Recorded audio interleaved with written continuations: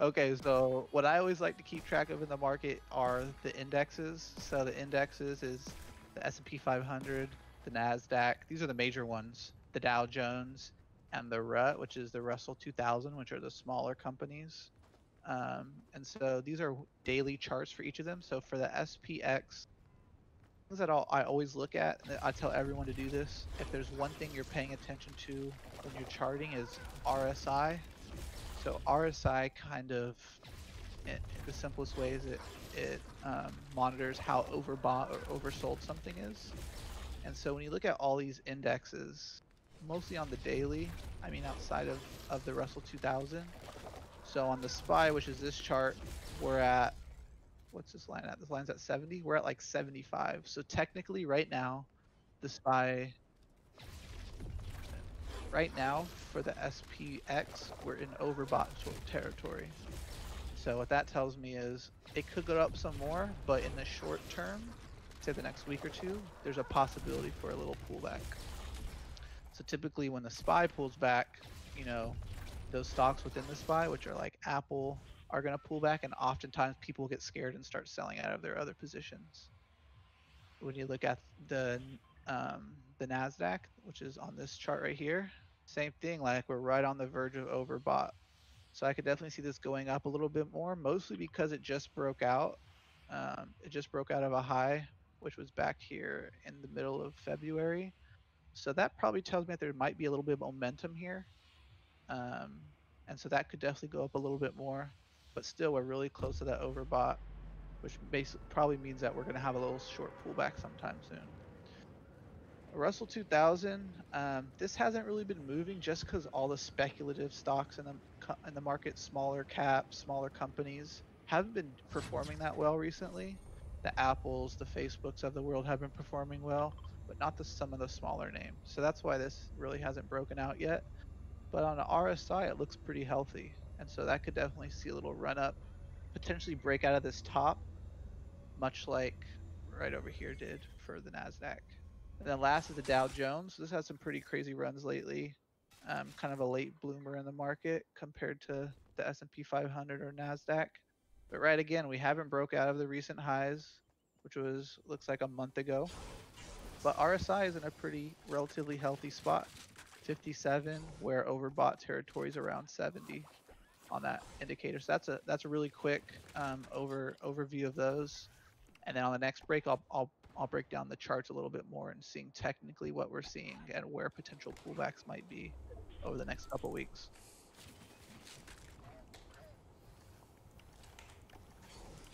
Yeah.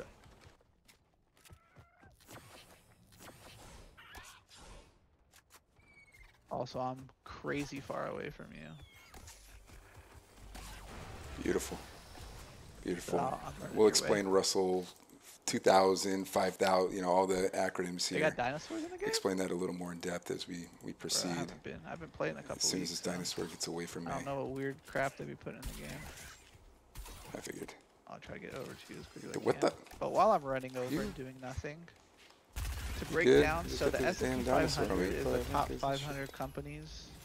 Yeah. Based on value, not actually, I wouldn't say about based on valuation, but people can put whatever stocks they want. The people who created SPY, which is Are you good? The, um, is the S&P 500 ETF that you can invest in. So ETFs are basically funds that people create that they put multiple stocks in, and then you invest in what these people say are stocks to own, essentially, or are stocks that kind of mimic the market flows in terms of going up or down. S&P, yeah. Yep. And so in the S&P 500, some of the major companies that make up that index are things like Apple, Facebook, Google. They added Tesla recently. Um, a lot of the banks, so like J.P. Morgan, things like that. These are ex exchange so traded kind of based funds. on how they're performing is kind of how that index is going to perform. Yeah. Um, and then for the Nasdaq are the top technology companies. So again, kind of like the SPY or SPX, same thing. Um, companies like Facebook, Google. Um, I'm trying to think of some other bigger ones. Uh, IBM. Uh, a couple other the big names that you can think of who are tech companies in the space. Ah, shoot, there's a dude right next to me. I'm gonna hide. I'm dead. He did not hit me, bro. Oh my gosh. These fools did not hit me. Three of them. This bro did not hit me. My game must have lagged because I dodged that shot. Anyway, after I was so really interrupted by this trio. oh, you're up on the mountaintop? Take a sip of water real quick. Yeah, watch out, dude. That's not the guy Fools hitting either. more so than one? Life. Okay. Got the homie rolling up. Okay, I see purple. Rip.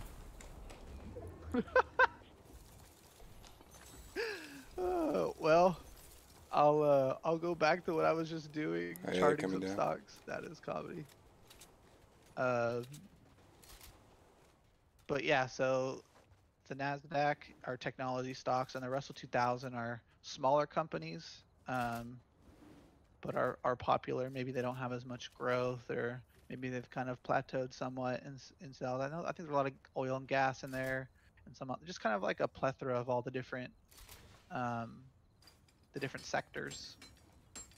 And then the last one is the Dow Jones, and that's kind of I think the traditional ones. I don't really trade Dow Jones at all, but I think banks are in there, and a lot of oil and gas. Kind of some of the industrial, yeah, kind of those things. Are do you know if banks are in the Dow? I don't remember. Anyway, don't really matter. So let's go to whenever you let me know when you switch over to the the I could do that. So let's go to the SPY chart first, which is the S&P 500. So this is on the daily chart. So like I said, oh, let's not do SPY actually, let's do SPX. So SP. Yep. Yep, at one point. So SPX, like we said, it's pretty close to that overbought territory, or it's actually, I set this chart to a different, this is 75. So technically it's above that 70 level. So it's technically an overbought territory. But let's zoom this out if I can what you'll see in the past is it can go up above the overbought territory and oftentimes just hang out there for a little bit. Let me go to the SPY and see where on SPY because I think it even, I know it's about the same on RSI. Um, RSI is just kind of, it's monitoring how overbought or, or oversold something is. And so obviously these big peaks and you see these valleys, I guess, coming down and then going back up. But I would say let's look recently. So as we can see, there's been a few times where it's gone to this overbought-ish territory. So back here, had a big pullback, kind of huddled around here while it was trending upwards. And then, which is really weird, it actually went up and still kind of went down. But now we're heading towards that overbought territory again. And so when we when we come in a little bit closer here more recently, let's keep some of these levels in here. So one thing you always want to do it when you're charting is you want to put trend lines, which are support or resistance marks. So a resistance is a place that is trying to break through a support on the upside. A support is where it would break through on the downside. And so these are support lines. There is no resistance because it's at an all-time high but let's just put Oh yeah, I'll get. Yeah, so this is yeah when when COVID first came, people started freaking out. Um, that's where the big drop is. So as you can see, like it was overbought for a while, which the market needed a pullback, but COVID just kind of plummeted it, and then it was oversold. So this, if I look back, what would have made sense is probably buying down here obviously there's a lot of good things on sale, but it was a scary time to purchase in the market. So uh, I didn't I didn't make buys that low. But uh, as we look here, so let's put some trend lines. So These are the two trend lines that I'll put. So these are kind of showing an uptrend. And so you basically find a bottom of a candle, and then you find another bottom of a candle, and kind of put a line out for those.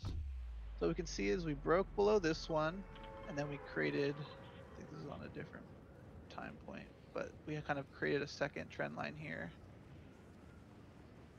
And so right now we broke through one trend line, but now we've created a second trend line. So now it's between these two trend lines. So if we break back above this and start hovering more, we can probably keep going higher. But if we come down and test this and break below, this is where we want to look for support lines. So you see right here, there's a lot of kind of consolidation. So this is where a lot of people started buying in this consolidation area. So if it breaks below here, you're going to want to look for a little small back, a small pullback here, which is around the 4,900 mark or 4,090 mark. And obviously if it breaks down, if it comes to here and pops back off, then it's going to bounce off that support. But if it breaks that support, you want to look for the next support line, which is about right here. And how we monitor that, we just look at where before these lines are. There's a lot of traffic here, a lot of a lot of consolidation here. So that could be potentially a second place for it to pull back to. And so I would say just keep a track. Just if you have any graphs that you can put little marks on, just put some marks like this on your graph and keep this as an indicator. If it breaks below, you probably want, don't want to do any buying over the next couple weeks. Um, but if it stays above it and it bounces off, and what I mean bounce off is it hits that support line and then keeps going back up, then you could punch, potentially have a point to either buy more stock or buy some stock for the first time. Um, and so that's just a quick little, a little, a little summary on the SPX going into next week.